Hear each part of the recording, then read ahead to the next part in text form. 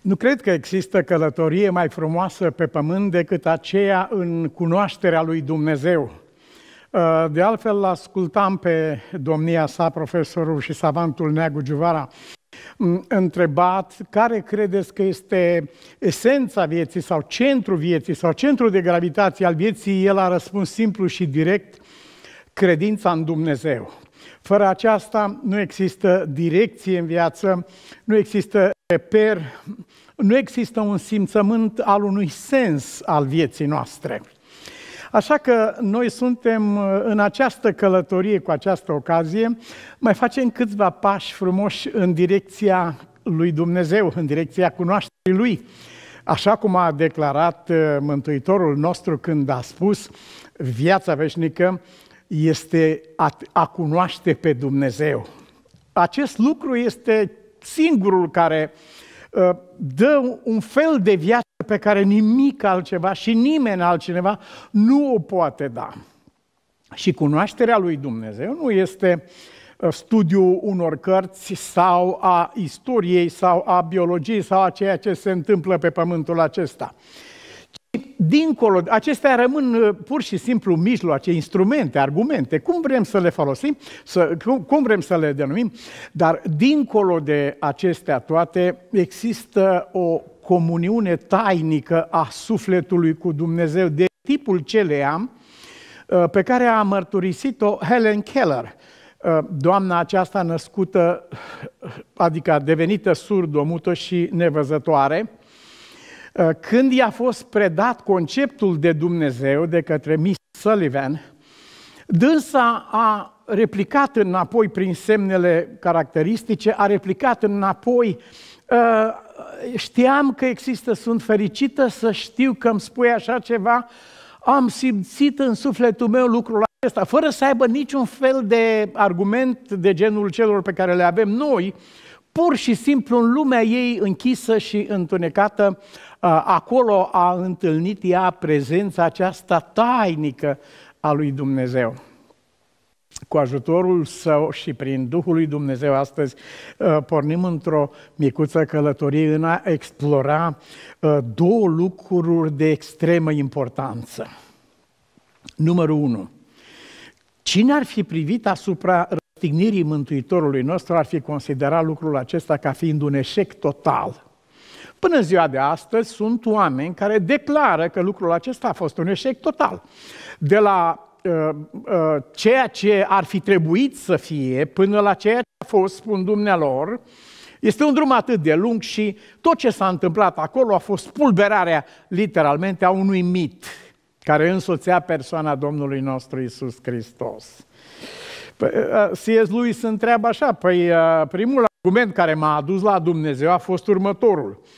Ehm, cum se face că eu îmi dau seama că lucrurile sunt strâmbe în această viață, în această lume și pentru aceasta mă îndresc spre acest inexistent pe care îl numesc eu Dumnezeu și acuz ca și când aș vorbi cu el. Cum se face? De unde știu eu că sunt strâmbe lucrurile? De unde știu eu că lumea nu e în ordine? Păi din cauza că a fost așezat cumva în mine a fost așezată această busolă care arată nordul, care spune așa ar trebui să fie. O linie strâmbă, spune dumnealui, nu se vede decât prin comparație cu una dreaptă. De aceea zici că asta e strâmbă, pentru că cealaltă e dreaptă. De unde știu oamenii aceștia că la cruce sau crucea a fost un eșec? Bazat pe ce? Care este reperul? Iubiții mei, sub aparența aceasta s-a produs, de fapt, triumful etern al lui Dumnezeu, câștigarea omenirii noastre, așezarea lumii într-o armonie definitivă, eternă cu Dumnezeu. Către acolo ne îndreptăm noi. Și vom învăța acest lucru dintr-un, um, din două perspective. Uh, numărul unu, așteptările noastre și numărul doi, realizările lui Dumnezeu. Noi credeam că spun ucenicii lui Isus erau dezamăgiți de la așteptările lor până la ceea ce s-a întâmplat. Era un drum foarte lung într-adevăr. Dar marea întrebare care se ridica este următoarea, dar chiar știți ce s-a întâmplat? Asta a întrebat Isus. Uh, ei au zis uh, străinului, adică era Isus, dar uh, străinului care a venit, păi numai tu ești străin, nu știi ce s-a întâmplat? Și Isus spune, ce s-a întâmplat? Ia spuneți-mi voi ce s-a întâmplat. Păi uite ce s-a întâmplat. Oamenii ăștia, uite așa, au răstignit pe Isus. Asta s-a întâmplat, da? Asta e tot? Cu asta ați rămas voi după trei ani și jumătate de învățat în școala lui Dumnezeu. Cu aceasta ați rămas voi. Adică, de fapt, ei conservaseră aproape neschimbată tradiția. Tradiția în care s-au născut și au trăit. De aceea le spune Mântuitorul necredincioși și zăbavnici cu inima când este vorba să credeți tot ce au spus prorocii. Unele le-am crezut, unele le credem și acum. Uh, altele uh, pe care nu le înțelegem sau care sunt diferite de înțelegerea noastră le ascundem sub covorul acela de care am vorbit noi, fermecat, care acoperă lucrurile acestea. Astfel că au fost două mari aparente monumentale cosmice eșecuri. Unul a fost răstignirea și al doilea a fost rugăciunea lui Isus ca urmașii lui să fie una, să trăiască în armonie, în această muzică plăcută lui Dumnezeu, care este armonie între oameni. De altfel, de la prima clipă, de la venirea Mântuitorului nostru și până la rugăciunea lui de mare preot, ă, se extinde acest arc și tema centrală a venirii lui și tema centrală a încheierii lucrării lui este una și aceeași, armonia între oameni pe pământ. Acesta este obiectivul lui Dumnezeu. Suntem în, în, confruntați cu această problemă aparent total nerezolvată și de nerezolvat imposibil, zicem noi. Și într-adevăr ar fi imposibilă, dar Mântuitorul a spus ceea ce este imposibil la oameni este la Dumnezeu. Aici este, aici este cheia asupra căreia vom rămâne noi.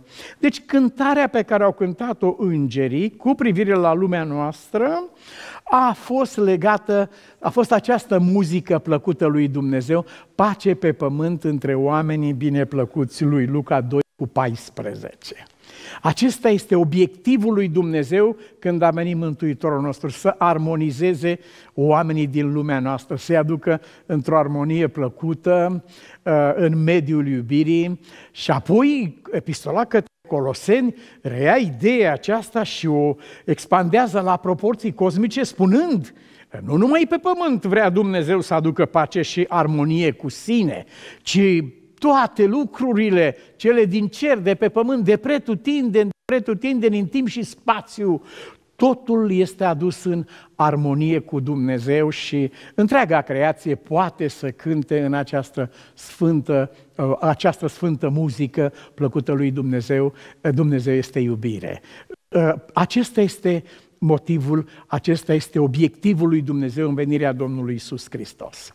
Acum când El a încheiat lucrarea aceasta, când a lăsat în urmă crucea, uh, uh, rostește în rugăciunea din Ioan, capitolul 17, și de aici vom citi versetul 21, mă rog ca toți să fie una. Păi nu este același, aceeași muzică pe care au cântat-o îngerii când uh, au venit, au, ai venit pe pământ, aceeași muzică este. Acesta este obiectivul lui Dumnezeu. El niciodată nu va face rabat de la lucrul acesta. Dar când te uiți în lumea noastră unde domnește haosul, ura, conflictul, războiul, să uităm de lumea noastră. Haideți să ne uităm în biserica numită a lui Hristos și să observăm toate problemele, tot felul de tensiuni, tot, toate formele de ură, de, de învrăjbire între oameni, uh, te dai doi pași înapoi și spui, nu cumva uh, rugăciunea aceasta a lui, te rog ca tot să fie una, este un eșec egal cu acela de la Golgota. Nu cumva este vorba de un alt eșec. Iubiții mei, uh, aceasta ar fi aparența, dar trebuie să ne plecăm în fața adevărului cuvântului lui Dumnezeu, prin care Dumnezeu nu poate fi vreodată biruit. Nici nu intră în discuție așa ceva. Chiar am auzit niște discuții nebunești despre conflictul cu, ocazionat de apariția păcatului că acesta s-ar fi desfășurat cu pumni, cu picioare, cu bețe, cu asta. Sunt niște oameni, niște spirite primitive, oamenii care gândesc în acest fel cu privire la Dumnezeu. Nici nu poate intra în discuție. Rugăciunea Domnului nostru Iisus Hristos n-a avut cum să cadă la pământ. El a pornit biruitor și ca să biruiască. N-a avut cum să cadă la pământ.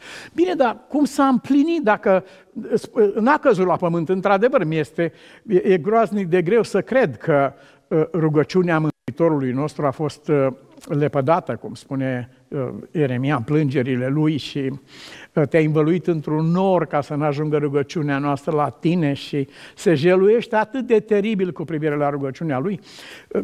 Ce poți să înțelegi din rugăciunea aceasta a Mântuitorului nostru? Te rog ca tot să fie una, armonia, această muzică dumnezească și realitatea pe care o văd ochii noștri, ce, ce putem spune de aici?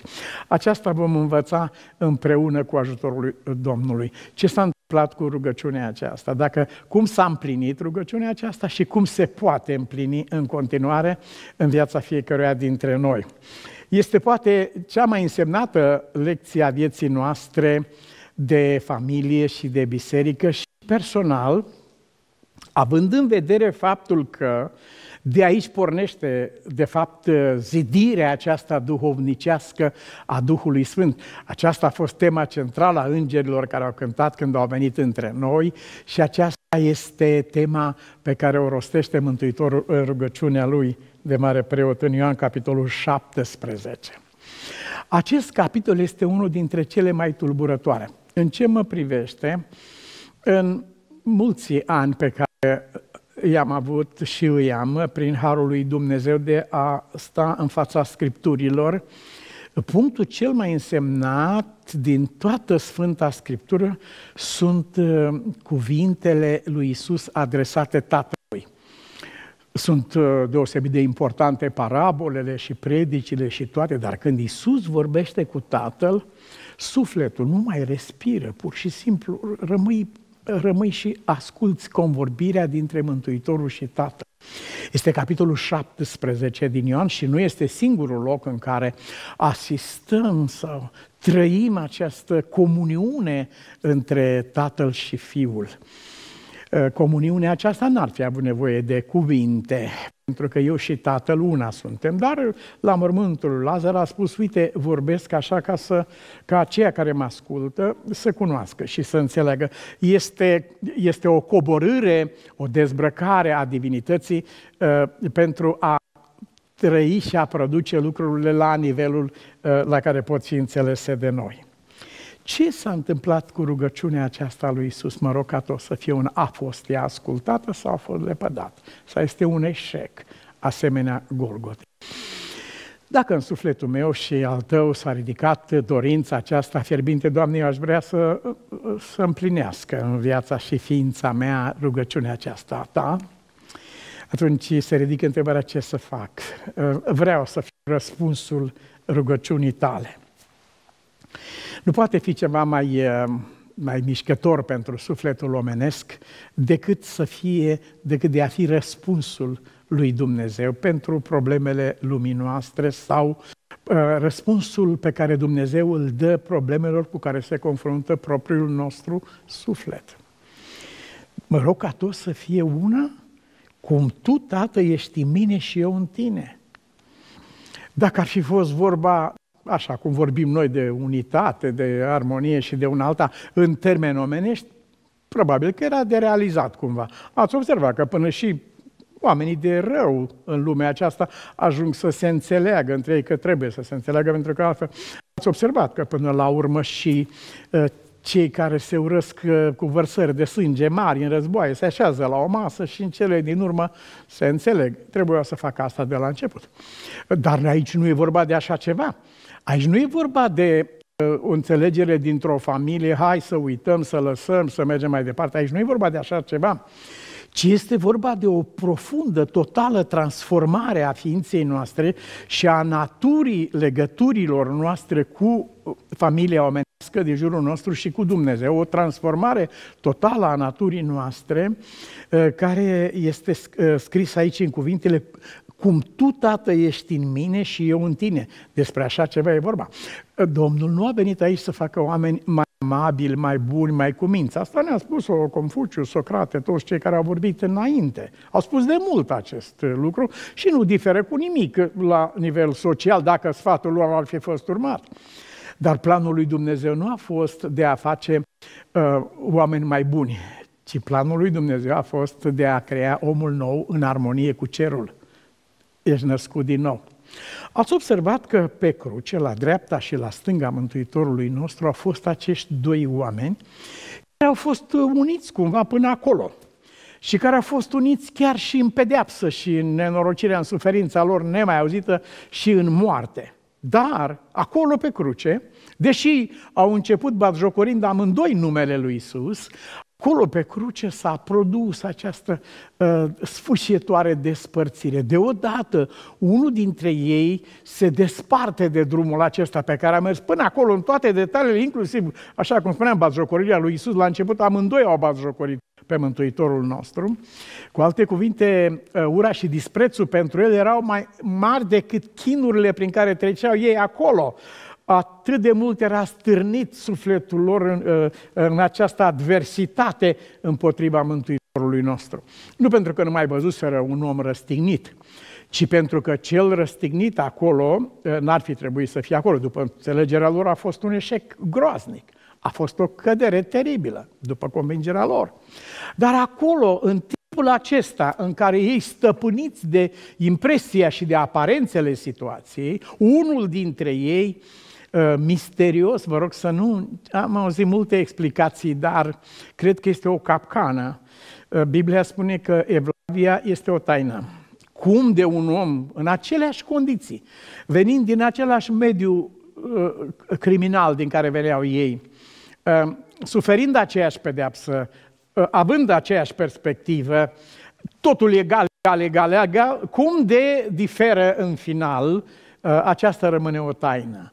Atât pentru cel care l-a ales pe Mântuitorul nostru, se numește taina Evlaviei, cât și pentru cel care l-a respins pe Mântuitorul nostru, se numește taina fără de legii.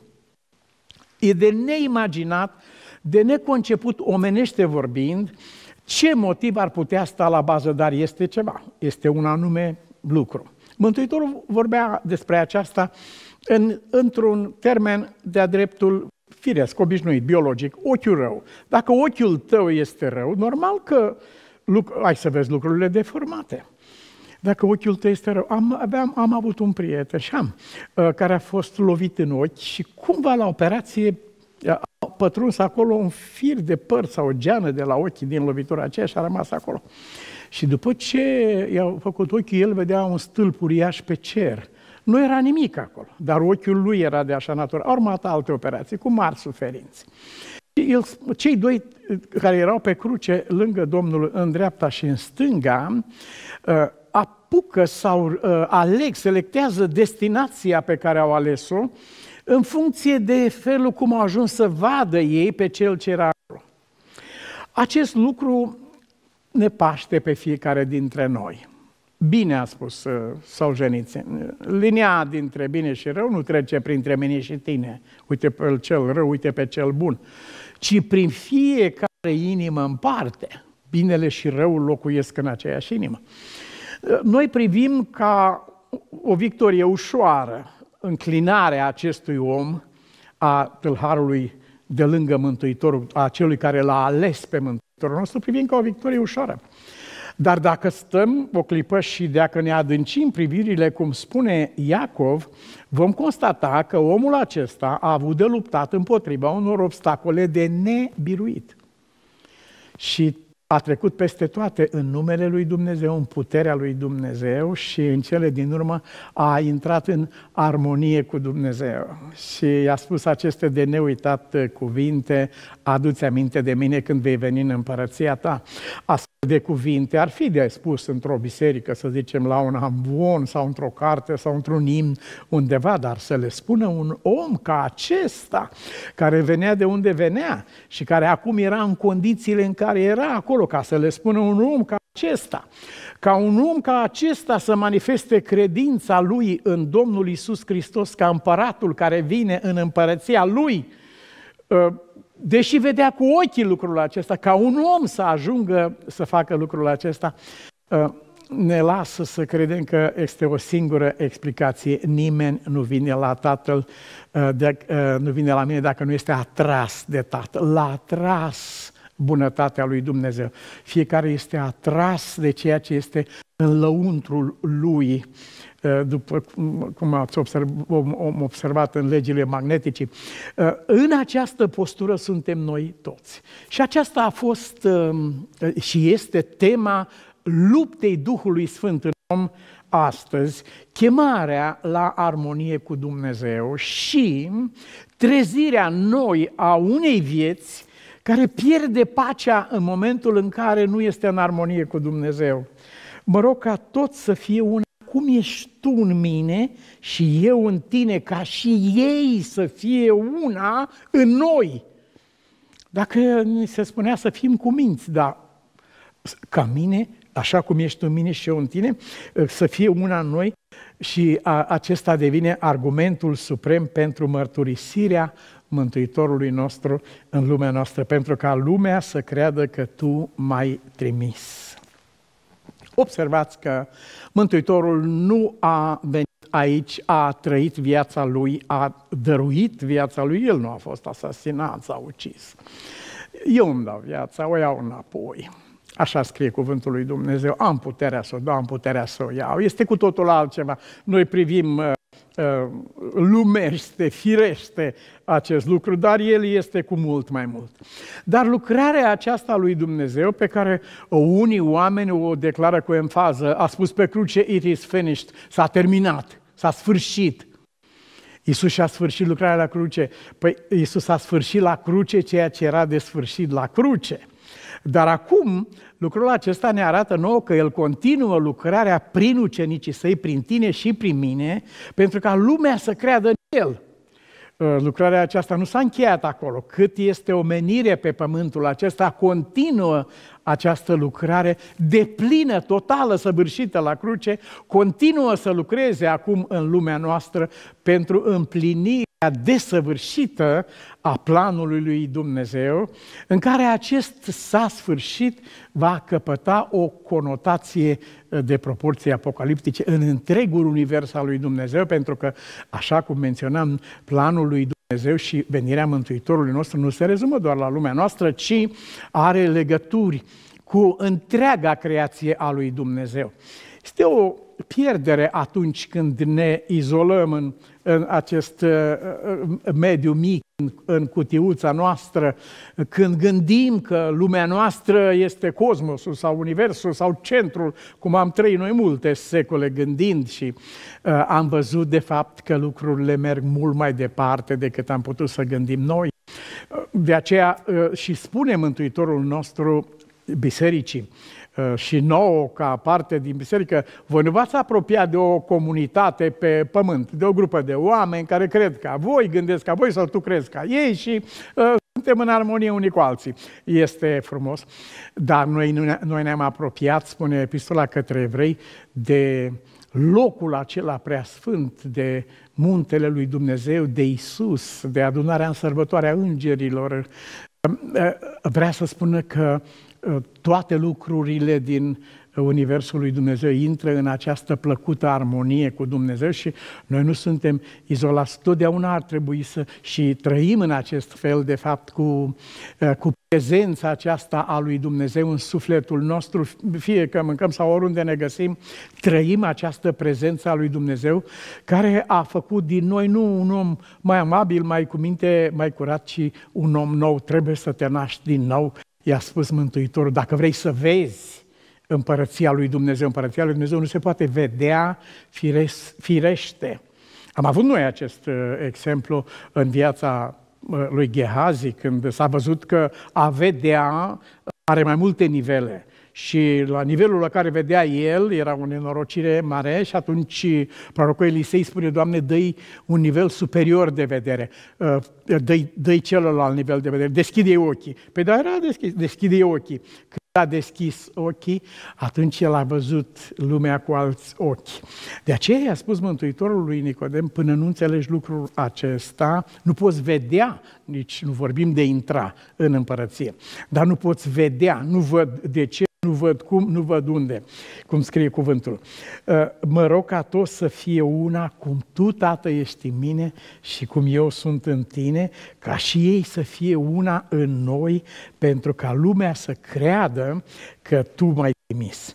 Această chemare a lui Dumnezeu face din noi niște responsabili ai rugăciunii lui Isus. Rugăciunea lui Isus este în viața noastră, fie triumful lui Dumnezeu, fie eșecul nostru. Nu este eșecul lui Dumnezeu. El însuși, spune Biblia, se va supune judecății în final, după ce va judeca toate lucrurile, și întreaga creație va confirma lui Dumnezeu că nu mai era nimic de făcut ei lui, adică persoanei mele sau, ta, sau tu sau cel de lângă noi, nu mai era nimic de făcut care se putea face să aducă pe un om în armonie cu Dumnezeu. Când acest lucru ia loc în ființa noastră, când această muzică sfântă, iubită și plăcută lui Dumnezeu, care este armonia cu cerul și cu Dumnezeu, când acestea devin o realitate în noi, ele se manifestă în tot ce facem și vorbirea, și trăirea, și simțirea, chiar și animalele ajung să simtă lucrul acesta în preajma noastră. Rugăciunea Mântuitorului nostru și imaginea de astăzi a bisericii uh, ar face pe cineva să zâmbească cu ironie în momentul în care uh, unul ar pretinde că acea rugăciunea lui Isus a fost împlinită. Te rog ca tot să fie una. Pe cum sunt atâtea zeci de mii de denominațiuni în biserica numită creștină, sunt atâtea religii, sunt atâtea forme, sunt atâtea... Unde este această armonie despre care vorbim?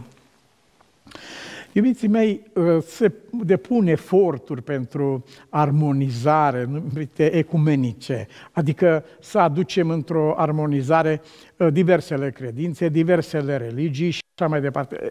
Sunt, uh, sunt lucruri de apreciat, sunt eforturi mari, investiții mari, sunt oameni care și-au dedicat viața acestui obiectiv. Dar nicăieri Biblia nu prevede că oamenii vor renunța vreodată la ideea asupra, la care se închină. Nu, aceasta rămâne pentru că omul confundă tradiția lui sau ideea lui despre Dumnezeu, le confundă cu Dumnezeu, de aceea niciodată nu se retrage din mediul acesta. Atunci cum se poate rezolva problema aceasta? Problema este că Domnul nu a spus niciodată și n-a vorbit niciodată de unirea religiilor, de unirea cre- crezurilor, credințelor și așa mai departe, ci de unirea credincioșilor. O, o, rugăciunea lui Isus este, are punctul de aplicație asupra inimii mele și inimii tale. Este vorba de unirea și armonia credincioșilor, nu a sistemelor, a diverselor sisteme. Mai repede se vor înțelege oamenii fără Dumnezeu, sisteme politice, economice, grupe de interese și așa mai departe. Mai repede se vor armoniza aceștia decât aceia care mărturisesc că crede în Dumnezeu. Aceștia vor ajunge până acolo încât vor arunca blestime împotriva unii împotriva altora, se vor nega unii pe alții, până la urmă vor intra în războaie, în lupte, în chinuri. Uh, uh, în timp ce lumea seculară, folosind rațiunea, se așează la o masă și ajunge la o concluzie. Valoria este dispusă de acest uh, compromis al valorilor, uh, prin care poate obține o stare de dorit pentru societate. Asta nu se întâmplă însă în domeniul religiei sau credinței. Nu este vorba de um, armonizarea religiilor. Niciodată uh, religiile necreștine nu vor sta la masă cu cele creștine, hai să ne împăcăm, gata, dăm mâna, totul merge bine. Uh, lucrul acesta nu se poate întâmpla pentru că oamenii sunt tributari pe totdeauna ideilor de Dumnezeu și vor rămâne așa. Dar se poate întâmpla și se împlinește la nivel individual, iubiții mei, la nivel de inimă, la nivel de trăire personală. Aici s-a împlinit deja rugăciunea Domnului nostru Isus Hristos. Pot să deschid o mică paranteză și să spun în sufletul meu că mă simt parte din ființa aceasta a lumii în care suntem noi astăzi.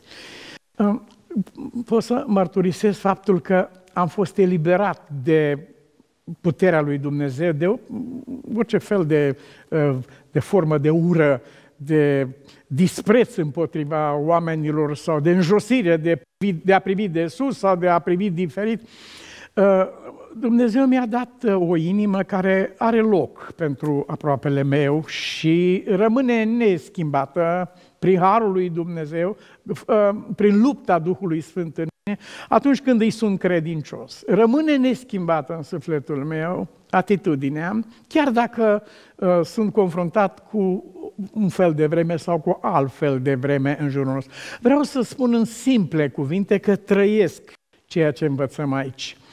Când Mântuitorul a spus, te rog ca tot să fie una, el s-a adresat întâi și întâi inimii noastre. Nu se poate vorbi de armonia familiei noastre cu Dumnezeu atâta timp cât noi nu avem armonia sufletului nostru personal cu Dumnezeu. Nu putem vorbi de aceasta. O familie în armonie cu Dumnezeu, te rog ca toți să fie una și pace pe pământ între oamenii plăcuți lui, o armonie a unei familii cu Dumnezeu este suma armoniei din fiecare viață cu Dumnezeu. Aceasta e muzica pe care o ascultă Dumnezeu. S-au certat mult oamenii pe muzică și uh, este ceva chiar de uh, râsul infernului, când cei care sunt chemați să cânte această muzică sfântă sunt în deranj. Lucrul acesta produce o suferință de neimaginat pe trupul, în trupul Bisericii lui Hristos. Dar, iubiții mei, la nivel de, uh, de suflet, de inimă, împlinirea rugăciunii lui Isus constă în dispoziția ta de a nu urâ pe fratele tău de niciun fel. De a considera pe fratele tău așa cum îl vede Dumnezeu. Și ați observat că noi venim și cerem iertare de la Dumnezeu. Da, pentru o greșeală sau alta. Știți de ce poate El să ierte? Nu pentru că este Domnul, ci pentru că a luat asupra Lui păcatele și fără de legile noastre. Din motivul acesta poate să ierte. Altfel niciodată El n-ar avea dreptul să ierte. Cine poate să ierte? Cine va spune decât Dumnezeu. Dumnezeu nu ar fi putut ierta niciodată dacă nu lua asupra Lui păcatele și fără legile noastre, așa cum scrie cartea profetului Isaia. Sigur că noi suntem pe pământul acesta ca o mică luminiță din marea lumină. Am această atitudine asupra, în legăturile mele cu aproapele meu. Am, uh, mi-a dat Dumnezeu acest fel de inimă ca să iau asupra mea înaintea lui Dumnezeu.